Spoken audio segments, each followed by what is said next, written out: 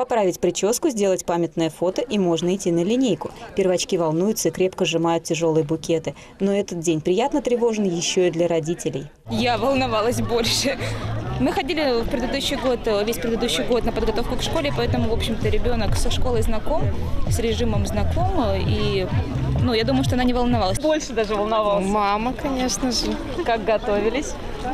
Все покупали долго, очень все выбирали, чтобы мальчик у нас был красивый. Но несмотря на волнение и переживания, дети ждали Дня знаний как одного из самых главных праздников в году. А зачем им нужно ходить в школу, дети знают точно ответ. Ну, школа – это то место, где учатся. Школа – это где учатся дети, А зачем дети учатся? чтобы потом быть умными. Что такое школа? Это, это где дети учатся уму. Первоклассники в этот день только знакомились со школой, а вот для учеников 11 классов это было последнее 1 сентября в их школьной жизни. Ждала с одноклассниками встречи, потому что почти все лето так вышло, что мы не виделись. Ну а прежде всего я соскучилась по учебе. А какой любимый предмет?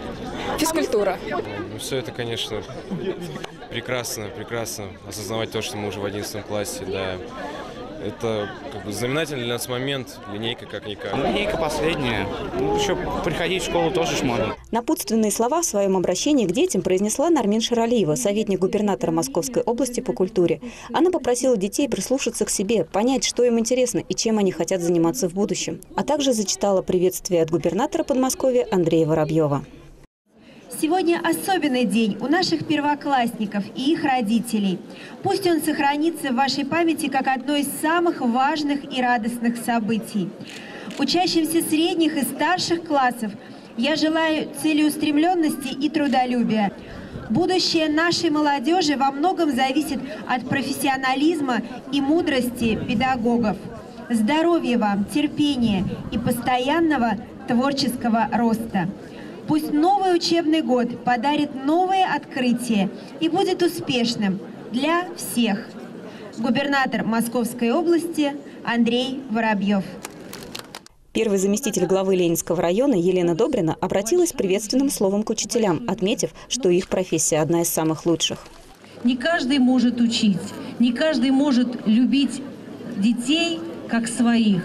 Не каждый может щедро делиться тем, что дала ему природа, с теми, кто пришел маленький, не окрепший еще, человечек, которому надо открыть путь в большую жизнь. Учителя же, в свою очередь, с большой радостью и гордостью награждали детей почетными грамотами главы Ленинского района за подписью начальника управления образования методического центра, особо отличившихся, победителей Олимпиад, отличников, активистов школ. Им же и было предоставлено право, по уже давно сложившейся школьной традиции, дать первый звонок.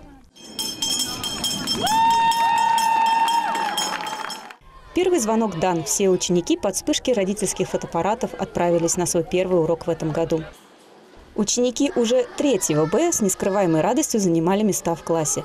Татьяна Александровна Ловицкая, классный руководитель, начала урок со знакомства ребят с новичками. Что такое мир? Какой он город, где вы живете? И что в нем есть? Вопросы, на которые предстояло ответить третьеклассникам. Дети были активны и любопытны. День знаний дал хороший заряд на дальнейший учебный год всем ребятам с 1 по 11 классы.